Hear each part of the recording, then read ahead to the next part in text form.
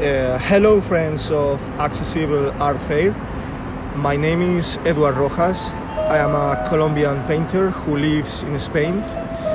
In the history of art, I am interested in the symbolist mystic period of the Third French Republic of 1892 as a starting point for artistic avant garde movements.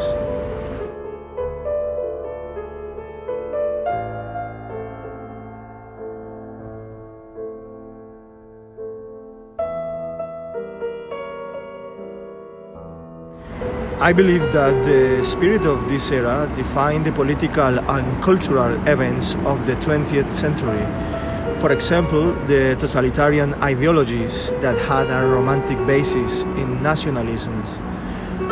After the above, I am also interested in the decade of the 60s as a new turn in mass visual culture, pop culture, or, or pop art in my paintings and comics, I try to investigate subjects such as the cultural industry in the sense of the philosopher Theodor Adorno, the theory of kitsch, psychoanalysis, mythology, colonial criticism in applied philosophy, the relationship between South America and Europe, surrealism.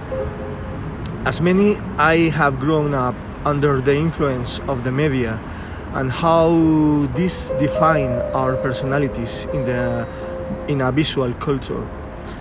In the drawing, I dedicate myself to the adaptation of comics or graphic novels. In this case, it is the first great vampire novel of Victorian era. Considered, considered by the critic the first of literary quality that inaugurates the genre of the modern fantastic after an exhausted era of Gothic novel. I make an adaptation in comic format with the intention of assigning it, to a public. On the other hand, in the field of contemporary art, this work interests me as an instrument of criticism of the stale mentality of the 19th century. Noting topics such as patriarchy, Prussian militarism, sexual repression, social hypocrisy, esoteric superstition in the political arena. Eventually, I could extract images to create paintings or light boxes, inserting new revealing signs in the image. I ask myself the question about what survives from the repressive behaviors of the 19th century today.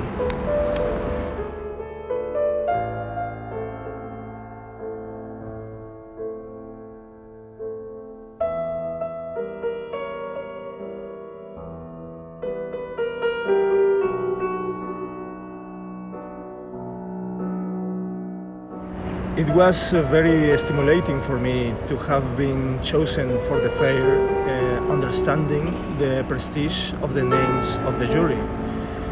I am very happy because I will finally visit Brussels and I will be able to see the treasures of Satan by Jean Delville in the Royal Museum of Fine Arts, one of my favorite paintings of symbolism